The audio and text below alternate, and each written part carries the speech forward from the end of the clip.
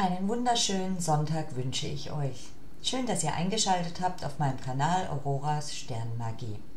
Heute begrüße ich alle im Sternzeichen Stier geborenen. Wir wollen gemeinsam in dem Monat Februar schauen, was ich euch für Botschaften überbringen darf, was ihr vielleicht hinter euch lassen sollt oder auf was ihr euch freuen dürft. Aber wie immer zuvor möchte ich ganz persönlich schauen, was eurem Herz, eurer Seele gut tun würde und das mache ich einerseits mit dem hm, Seelenreich-Orakel und später schauen wir noch ins Mondorakel. Dann legen wir mal los. Für meine... Wow, da war Energie dahinter für meine lieben Stiere für den Februar. Lebe leicht und spielerisch und höre auf die Stimme deines inneren Kindes. Na, das ist doch schon mal eine sehr schöne Botschaft für euch für den Februar. Lebe leicht und spielerisch und hör auf die innere Stimme deines Kindes. Möchte euch sagen, nehmt alles nicht so schwer und so ernst, was euch im Februar vielleicht begegnen wird.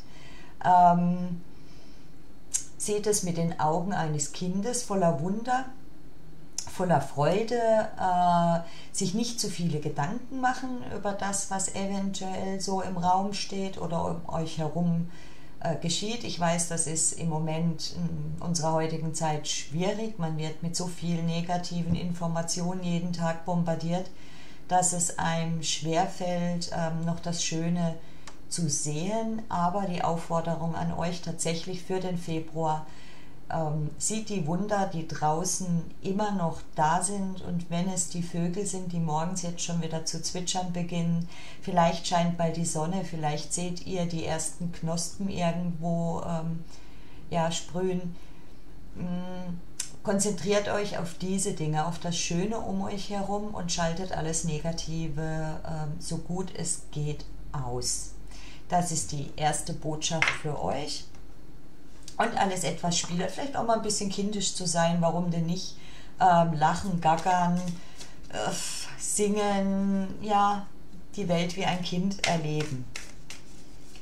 Das ist doch äh, ja, was Schönes, was wir leider verlernt haben, die Welt aus den Augen eines Kindes zu sehen. Jetzt möchte ich noch das Mundorakel für euch befragen. Mal schauen, ob ich den Satz jetzt aussprechen darf. Für meine lieben Stiere im Februar hätte ich gerne eine Karte aus dem Mondorakel. Was darf ich für eine Botschaft? Das sind ganz viele. Nein. Was darf ich für eine Botschaft überbringen? Was würde Ihnen im Februar denn gut tun? Oder welche Nachricht habt ihr? So, dann schauen wir mal hinein. Zeig dein wahres Ich. Ja, das ist doch auch eine schöne Botschaft und vielleicht schlummert in euch ja auch noch irgendwo unterdrückt das Kind, ähm, das endlich mal rausgelassen werden möchte, ähm, bisschen verrückt sein. Ist doch egal, was die anderen über einen denken, solange es einem gut tut und man niemand schadet, kann man auch ruhig mal ein bisschen ähm, verrückt durch die Welt hüpfen und ähm, ja, die ganze Sache nicht so ernst nehmen. Mm, zeigt dein wahres Ich. Auch eine Botschaft. Verstellt euch nicht mehr und schon gar nicht, um irgendjemandem zu gefallen. Ihr seid so richtig, wie ihr seid und ähm, wer der Meinung ist, ihr seid ähm, ja zu verrückt oder ihr seid keine Ahnung, was die Leute denken, ja, abschminken, was soll's, ihr müsst, ihr müsst ähm, euch für niemanden verbiegen, ihr müsst niemanden auf Teufel komm raus äh, gefallen, das ist so das Schöne, sage ich immer, an meinem Alter, wer mich nicht mag, ja, der soll es bleiben lassen, ne? ich muss mich nicht mehr verbiegen, um irgendjemanden zu gefallen, also, und das ist so die Botschaft an euch im Februar, seid authentisch, seid so, wie ihr seid, denn ihr seid spitze, ganz einfach. Schauen wir mal, was der gute alte Merlin noch zu sagen hat. Die Libelle. Weltenwechsel. Der kleine Feendrache zeigt sich dir, um dich in dein Herz zu führen. Liebe ist der Weg, Liebe ist die Wahrheit. Auf welchem Pfad du auch immer wanderst, höre auf dein Herz, folge deinem Gefühl.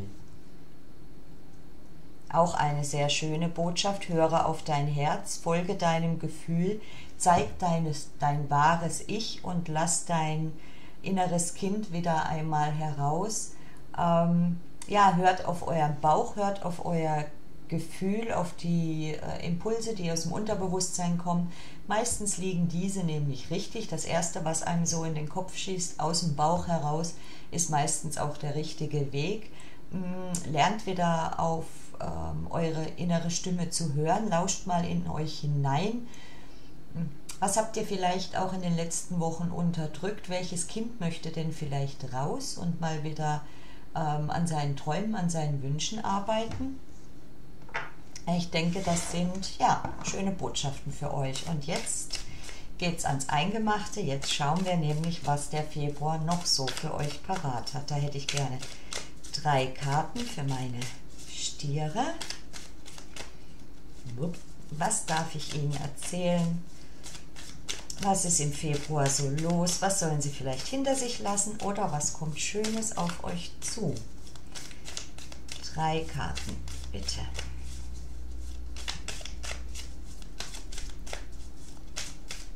kann euch sagen, bei den Skorpionen vorhin sind mir die Karten nur so um die Ohren geflogen. Also da waren ganz schöne Energien am Start.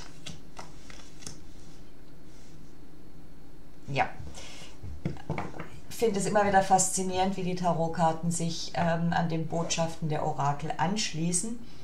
Ähm, wir haben einmal die drei der Stäbe. Die drei der Stäbe, auf der sieht man sehr schön, da steht eine Frau mit dem Surfbrett, blickt aufs Meer hinaus und wartet eigentlich nur auf die perfekte Welle, um ins Wasser springen zu können.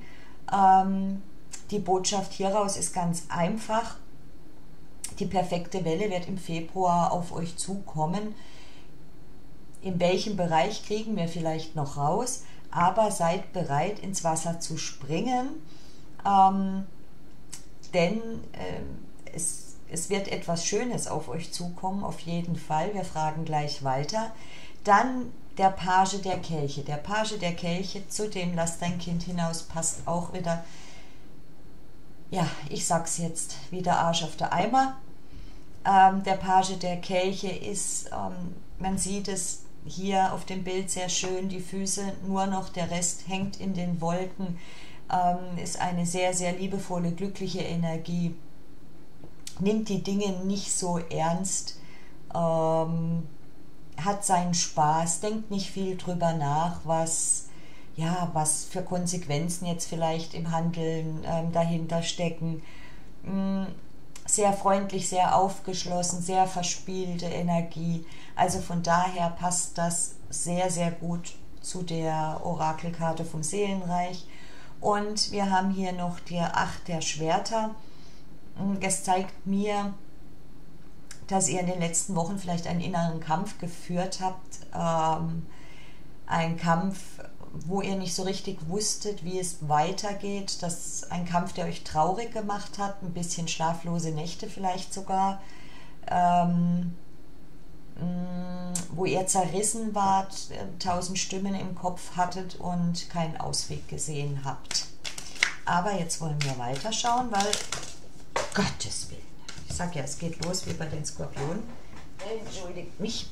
Ähm, schauen wir mal weiter. Natürlich möchte ich Erklärungskarten dazu haben für meine lieben Stiere aber vielleicht auch deswegen die Botschaft, dass ihr auf euer Herz so, äh, hören sollt und das innere Kind rauslassen, damit ihr diese Phase in eurem Leben oder was euch da so bedrückt, endlich hinter euch lasst. Und mit der, mit der Gewissheit, es kommt etwas Schönes auf euch zu und ihr müsst ähm, nur warten. Warten und dann kommt der perfekte Moment, ähm, ja, wo ihr ins Wasser springen werdet und auf den Wellen reiten. Und das ist ja, ich, ich habe es noch nie gemacht, aber es muss ja ein gigantisches Gefühl sein, also etwas Schönes. Also, ne. Und die Leichtigkeit ist wichtig im Februar, dass ihr eure Leichtigkeit, eure Freude, ähm, ja, das Verspielte wieder in euer Leben lässt. Ich hätte gerne noch drei Karten Sag mal, heute habe ich irgendwie einen Knoten. Drei Karten für meine lieben Stiere für den Februar. Was darf ich denn noch erzählen? Kommen immer gleich drei, na dann. Ich habe ja nach drei Karten gefragt, da will ich mal nicht schimpfen. Ne? So, sehr schön, jawohl. Gut, wie gesagt, ich sehe, dass ihr ähm, ja einen Herzschmerz hattet, in welcher Beziehung der jetzt auch immer sein mag.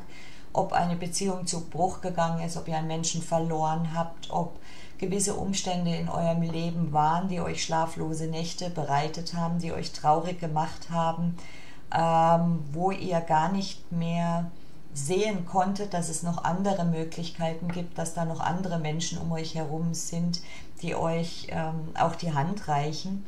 Und die Karten fordern euch auf, ähm, hier ist der Einsiedler gefallen, auch in euch zu gehen, mm, die ganze Sache mal aus einer anderen Perspektive zu betrachten. Man sieht es hier auf dem Bild sehr schön. Das Kind schwebt so in der Luft, es geht eine Treppe nach oben in die Berge, was bedeutet, ähm, ja, seht die Geschichte oder das, was passiert ist, mal aus einer ganz anderen Perspektive, ähm, um ja damit abzuschließen, andere Gedanken zu bekommen, vielleicht auch äh, eine neue Sichtweise, wie könnt ihr weiter voranschreiten, welche Ideen kommen euch denn da ähm, ja, zum Vorschein? Denn wir haben als nächstes die sieben der Stäbe und die zeigt mir, Ihr werdet wieder in eure Ruhe, in euren Frieden kommen. Ihr werdet Frieden mit euch, vielleicht mit einer anderen Person schließen können. Und ähm, ja, dadurch wieder euer, äh, euer Selbstwertgefühl, euer Selbstbewusstsein, alles erreichen. Ihr werdet wieder in eurer Mitte sein. Ihr werdet die Kraft haben, nach vorne zu blicken, was immer ihr geplant habt, ähm, mit Zuversicht angehen. Hier haben wir ja den Sprung ins Wasser. Und ähm, ihr werdet auf jeden Fall das, was euch belastet, im Februar hinter euch lassen. Und ähm, helfen wird es euch natürlich, wenn ihr den Ratschlag befolgt und wieder versucht, ja, Freude, Freude zu empfinden und ähm, ja, auf, auf eine spielerische Art wieder ans Leben heranzugehen. Nicht so ernst und verbissen vielleicht. Hätte gerne noch drei Klärungskarten für meine lieben Stiere. Was darf ich noch erzählen? Vielleicht mal was zu dem ins Wasser springen. Was kommt denn auf Sie zu?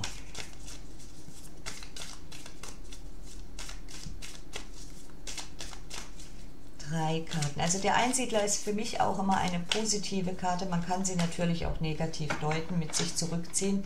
Ich finde, das ist aber immer sehr positiv, weil ich mir selber dann ähm, die Chance gebe, mal ganz neutral Dinge zu betrachten, die ich vielleicht ähm, ansonsten emotional sehe. Und wenn ich etwas emotional sehe, habe ich meistens ähm, nicht wirklich den Durchblick.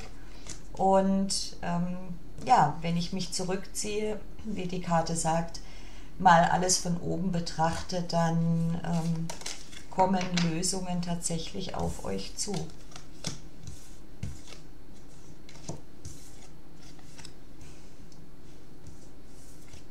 Huch, die hatte ich ja schon umgedreht. Hier unten als Unterseite haben wir die Königin der Münzen. Da sehe ich euch jetzt drin. Wenn ihr als Mann zuschaut, dreht es euch bitte immer um. Ähm, gut, ähm, was ich sehe, ist, dass da tatsächlich, ähm, auch wenn ihr jetzt hier mit den sieben der Stäbe eure Mitte findet ihr immer noch dieses Gedankenkarussell in eurem Kopf habt. Irgendwas ist auch im Februar noch, was euch sehr viel ähm, Gedankenspiele durchlaufen lässt, mh, mm, wo ihr das Gefühl habt, ähm, man zieht da an mir, man zieht da an mir, vielleicht viele Anforderungen von verschiedenen Personen an euch, die euch immer noch Kraft kostet. Aber ich sehe auch weiterhin, ähm, die Königin der Schwerter ist gefallen und das zeigt mir, dass ihr im Februar hm, tatsächlich zur Königin oder zum König der Schwerter werdet was ähm, eine sehr stabile Energie ist, ein Mensch, der weiß, was er will, der bereit ist für das, was er möchte, zu kämpfen, der nicht darum drumherum redet, sondern sein Herz tatsächlich auf der Zunge trägt. Entschuldigt, irgendwas kitzelt mich im Hals. Wir haben die Mäßigkeit zwischen den ähm, beiden Karten liegen. Die Mäßigkeit zeigt mir, dass ihr einen Ausgleich finden werdet. Ähm, für euch selber in die Balance zu kommen, nicht nur euch von diesen vergangenen Dingen ähm, ja, den Alltag bestimmen lassen, euer Denken, eure Gefühle bestimmen lassen, sondern tatsächlich die, die Grätsche schafft, in die Zukunft zu schauen und schön in die Zukunft zu schauen, also ähm, diese traurige Zeit hinter euch zu lassen.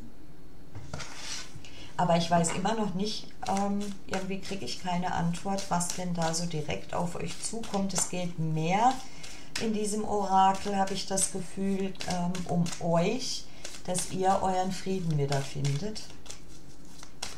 Mit euch, mit jemandem, ähm, mit irgendwelchen Dingen, die geschehen ist und die Freude am Leben wiederfindet. Ich glaube, das ist im Februar gerade sehr maßgebend für euch.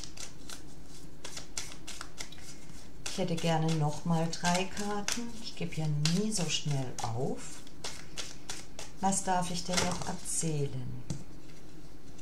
Okay, ganzes Bilderbuch, aber wir nehmen sie.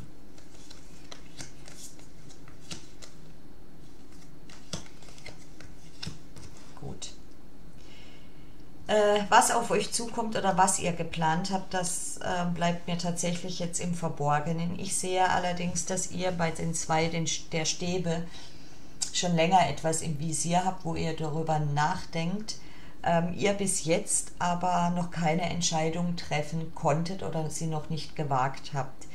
Äh, man sieht hier schön, hier sind Zeichnungen. Entschuldigt der Globus ist hier, man hat den Stab eigentlich schon in der Hand, um loszugehen, hm, guckt aber immer so durchs Fenster hinaus, hm, soll ich, soll ich nicht.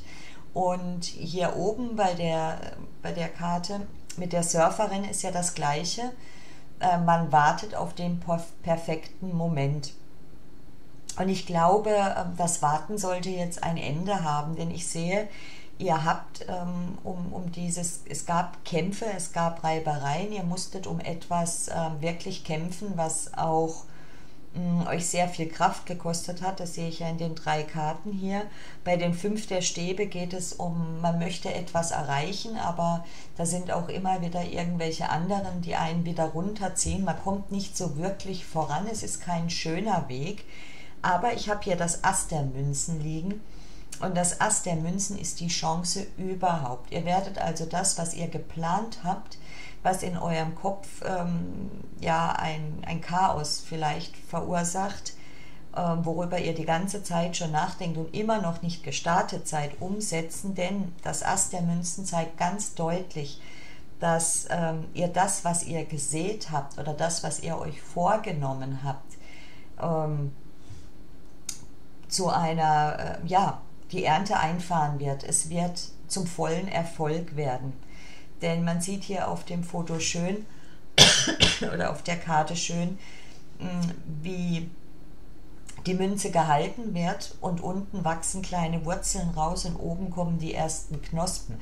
Also wenn ihr etwas äh, im Petto habt, was ihr machen möchtet und noch nicht gestartet seid, weil ihr vielleicht immer noch nicht wisst, soll ich, soll ich nicht, sagen euch die Karten, legt los, denn als letztes Karte ist der Wagen und der Wagen zeigt immer an etwas Schnelles, also mh, mm, etwas kommt sehr schnell in Bewegung.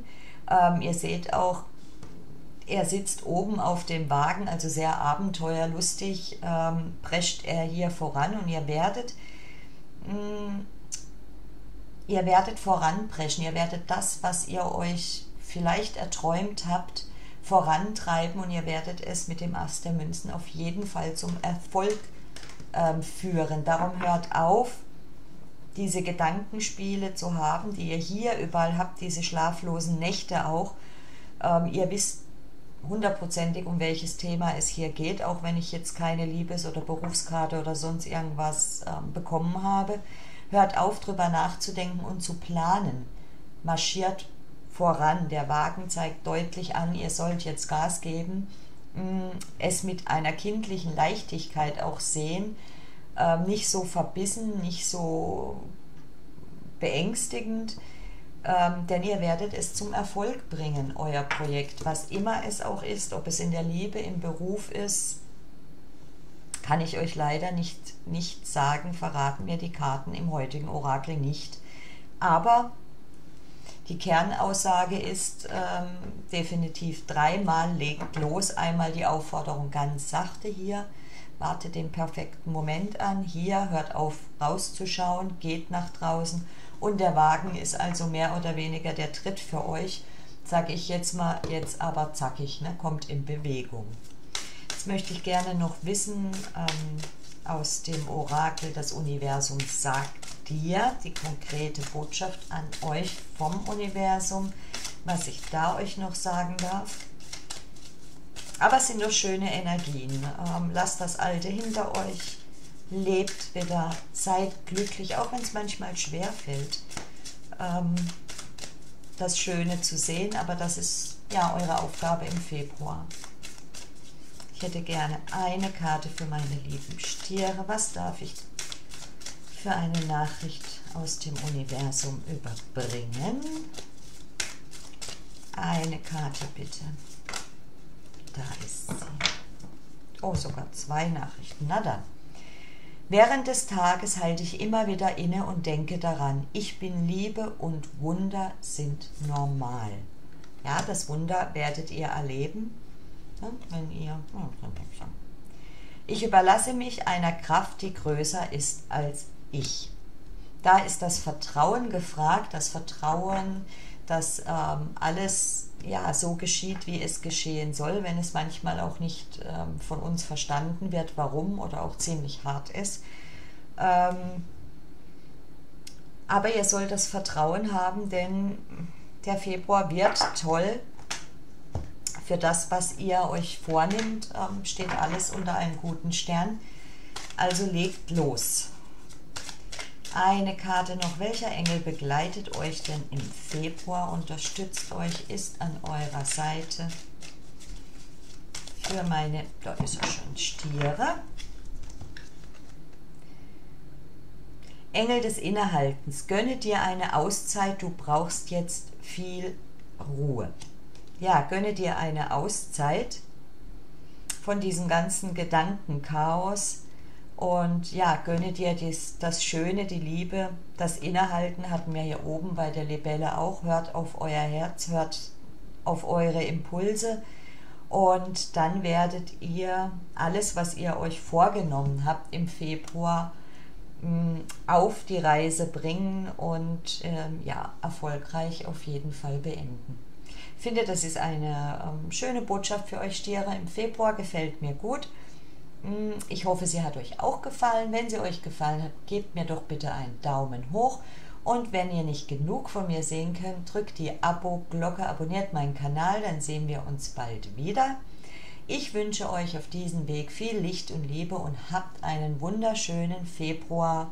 Genießt das Leben mal wieder aus vollen Zügen. Bis dahin, tschüss.